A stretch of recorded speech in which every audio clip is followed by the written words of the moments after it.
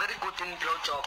I know myself when I, I'm very good in my blowjob. Most of my clients are blowjob clients, and I use my teeth, my teeth, to make them come quick.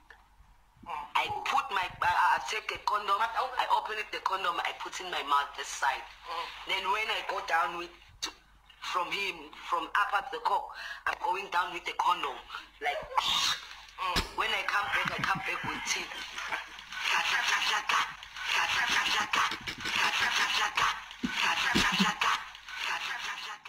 Ha